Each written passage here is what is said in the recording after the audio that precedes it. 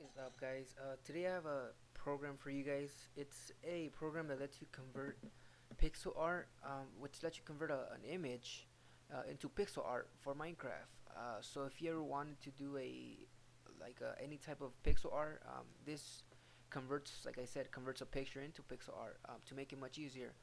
Uh, so first of all, download it. Uh, I'm gonna go for the free version. Um, I already have it, so I'm not gonna download it again.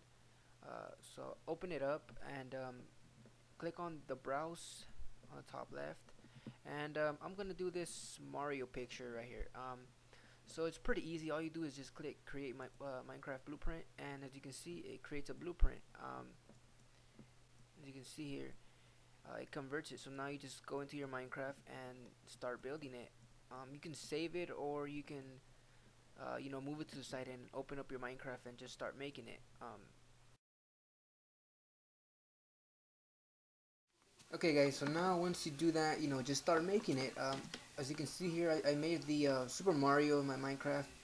Uh, I also made a Luigi, and I also made a Manchester United uh, seal because that I'm, you know, I'm a Manchester United fan, and um, you know they're doing good this season, and um, you know, just because I like them. So, but yeah, that's pretty much what the whole program does. It, you know, it, it helps you out. It converts a, a picture uh, into pixel art. Converts a picture. Um, it's not gonna be perfect, but it's gonna be you know it's gonna it's close. It's it's pretty solid. Um, from far away, the Manchester sign looks pretty solid. Um, but you know that's pretty much what the program does. So hope you guys enjoyed it. See you guys next time.